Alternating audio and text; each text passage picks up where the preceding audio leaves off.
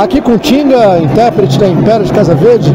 Tinga, eu estava fazendo uma entrevista até com o André Diniz, né, um dos compositores do samba, sobre essa questão, né, do desafio, né, de cantar é, um samba bom no ano e você subir o sarrafo. Vocês né, tiveram o mesmo exemplo na Vila Isabel, por exemplo, com Festa na Raiá, né, que o Diga, mas vinha de um samba bom também, de 2012, sobre Angola, então já temos um bom exemplo.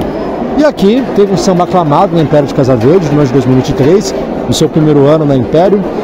É, e nesse ano você pôde participar ali da autoria também.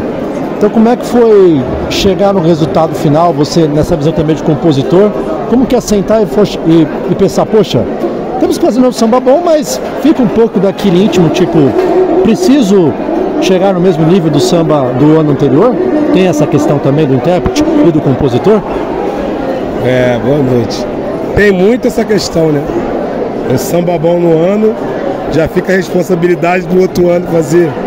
Tentar fazer um, um samba que pelo menos chegue perto do, do samba anterior. Mas graças a Deus a gente conseguiu fazer mais um grande samba. O samba tá lindo. Eu acho que tá igual o do ano passado. É, o samba tá muito alegre comunidade vai poder cantar com muita alegria. Eu acho que até um pouco mais de alegria do que o do ano passado. E a gente está muito feliz com, com, o resultado. Primeiro ensaio, estamos fazendo essa entrevista ao final do primeiro ensaio. Qual a avaliação que você faz já desse primeiro ensaio da Império de Casa Verde junto à comunidade? Já deu para ver, né, que a comunidade está feliz com o samba, está cantando bonito, cantando forte. E vai ser assim. Para primeiro ensaio parece que, que já é o perto do carnaval. Chegar lá perto eles vão estar tá tinindo, se Deus quiser. E já fazer mais um grande desfile.